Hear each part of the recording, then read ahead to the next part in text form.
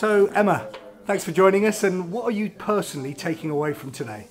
Um, I can honestly say I've learned an entirely new skill set and it's something that I'm actually excited about putting into practice. I'm excited about going to events, I'm excited about meeting new people and I've learned that I do have something to give and I'm excited to share that with people and to take something away and build relationships with people. And if you were recommending this course to others, what would you say? I'd say go for it. You can never have enough skills. Thank you very much indeed.